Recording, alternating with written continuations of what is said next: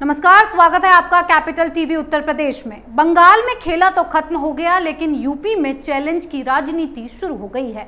हर कोई चुनावों से पहले की एक दूसरे को चैलेंज करने में जुट गया है। इस बार ओवैसी के चैलेंज पर सांसद रवि किशन ने ऐसा प्रहार किया कि सोशल मीडिया पर भी लोगों की हँसी नहीं रुकी। आखिर क्या है पूरा मामला? इस रिपोर्ट में देखिए।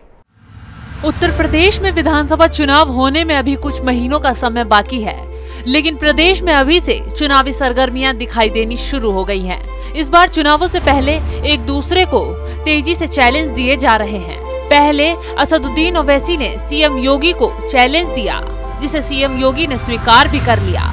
और अब गोरखपुर से बीजेपी सांसद रवि किशन ने ओवैसी को ऐसा चैलेंज दिया कि सोशल मीडिया पर लोग उनकी हँसी उड़ाने लगे। ओवैसी की चुनौती पर रवि किशन ने पलटवार करते हुए कहा कि ओवैसी को खुलेआम चुनौती देता हूँ। ओवैसी साहब, चुनौती स्वीकार है। छू कर दिखाओ महाराज जी को। हैदराबाद उड़कर जाओगे। ये सन्यासी हैं। ओवैसी सीएम योगी को चैलेंज देकर बुरी तरह विवादों में फंस चुके हैं।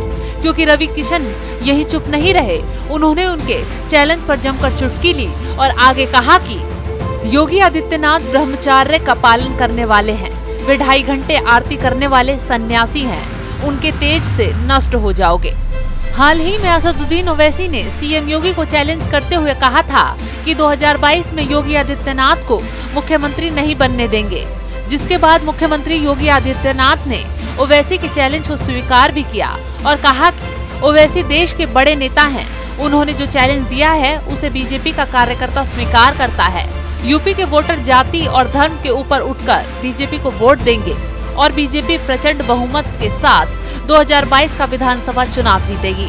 ओवैसी को जवाब देते हुए सीएम योगी ने दावा किया कि विधानसभा चुनाव में बीजेपी को 300 से ज़्यादा सीटें मिलेंगी। लेकिन दूसरी तरफ़, सीएम योगी को चैलेंज देने वाले ओवैसी अपनी नैया पार करने के लिए, पार्टियों का सहारा लेने के लिए इधर उधर घूम रहे हैं। चुनावों से पहले ही अपनी जीत का दावा भी कर रहे हैं। फ़िलहाल तो ये भी क्लियर नहीं हो पाया है कि ओवैसी यूपी में कितनी सीटों पर चुनाव लड़ेंगे।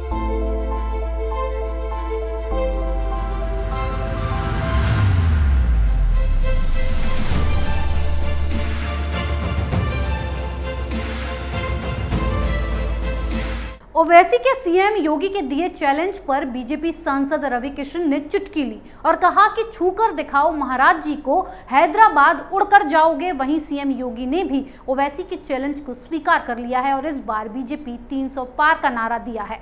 इस खबर में फ़िलहाल इतना ही, बने रहिए कैपिटल टीवी के साथ।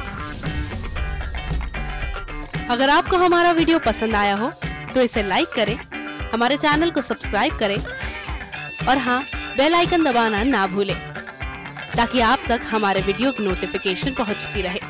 आप अपना सुझाव हमें कमेंट बॉक्स में दे सकते हैं। हमारे साथ जुड़ने के लिए शुक्रिया।